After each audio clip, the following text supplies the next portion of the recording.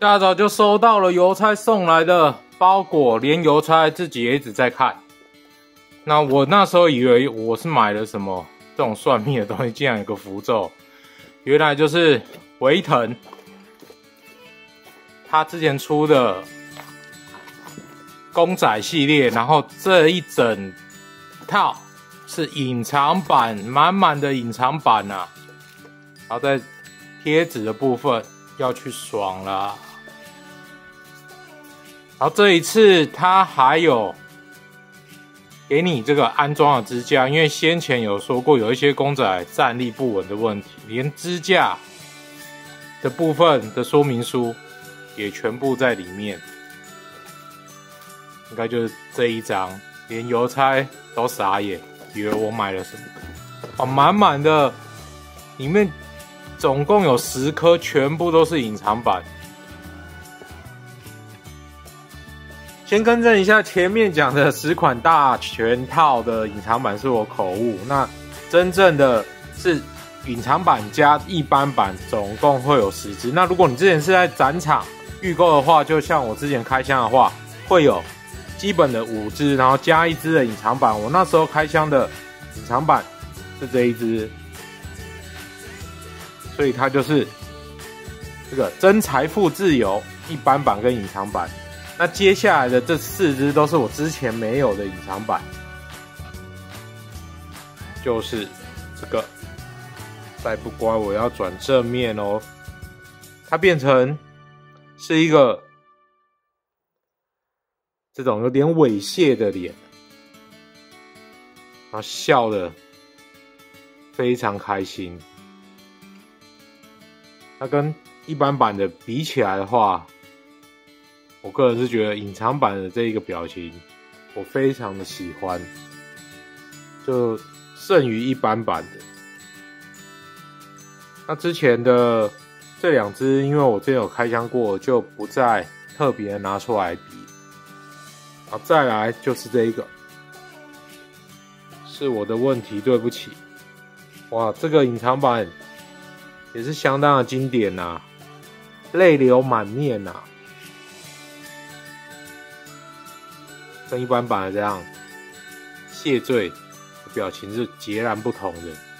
整个再一次强调，质感、做工、涂装真的都是非常不错，而且还蛮大只的。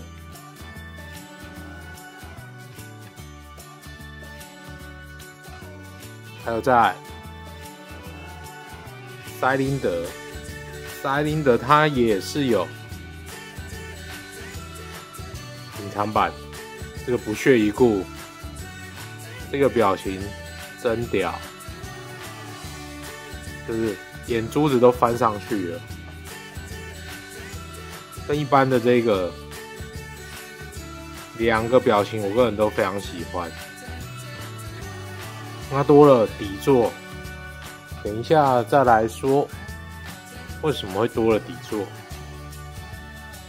啊，最后一个这一只它是没有一个对应的隐藏版本，倒是它是出现了这一只，故事开始喽。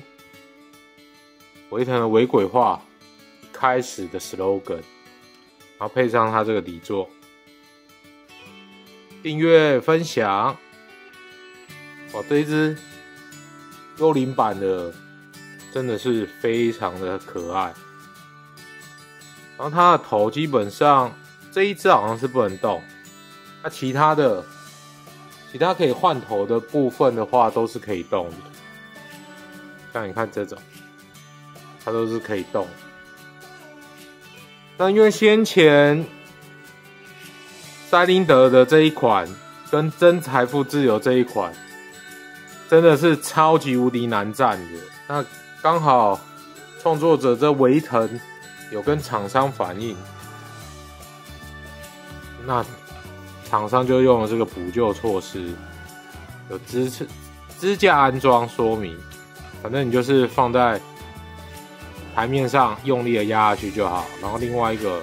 黑色框架组装说明也都有给你，那我相信这是一个双赢的方式了，对大家都好。那之前真的是非常非常的不好站。那有了这个脚架的话，加分的超级无敌多的。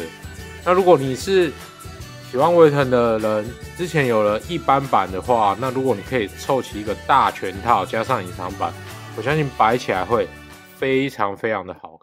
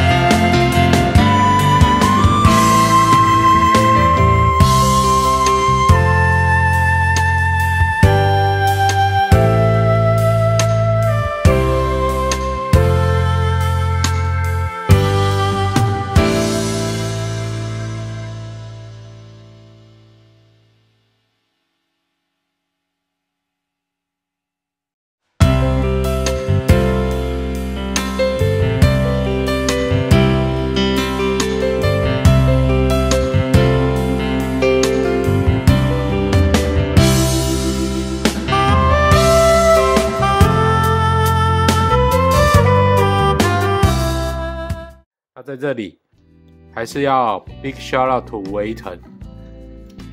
今天的影片就到这里，我们下次再见，Love and peace，拜拜。